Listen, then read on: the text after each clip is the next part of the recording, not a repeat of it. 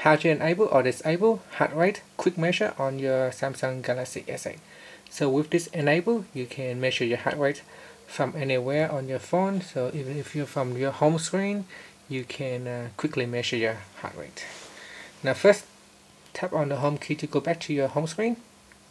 Then tap on apps at the bottom here and then go into Samsung. Then tap on uh, Samsung Health right here now once you're into the Samsung Health screen tap on the go into your the heart rate page. So tap on heart rate measurement page. And here tap on the menu key and tap on quick measure.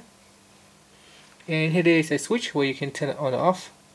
Now once it is turned on you can uh, quickly uh, measure your heart rate. Uh, to do so um, all you have to do is uh, put your finger on the sensor here and have it uh, face down like this and then quickly turn over and then turn it back on like so. And you can see the heart rate start to measure straight away. So this is uh, very quick. You don't need to go into the uh, the Samsung uh, heart rate measure apps to do it. You can simply do it anywhere on the screen by simply placing your finger on the sensor and have it uh, like that turn over and then turn back on and it will measure your heart rate straight away.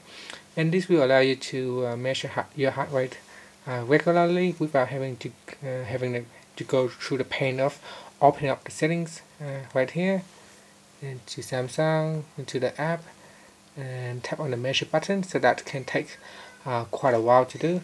Whereas if you turn on that shortcut all you have to do is place your finger turn the phone down and back up again and that's it then it will start to measure your heart rate so while it's doing this just uh, be patient stay still and let measure your heart rate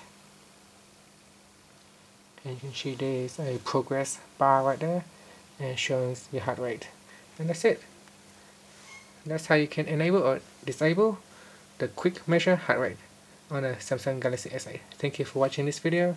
Please subscribe to my channel for more videos.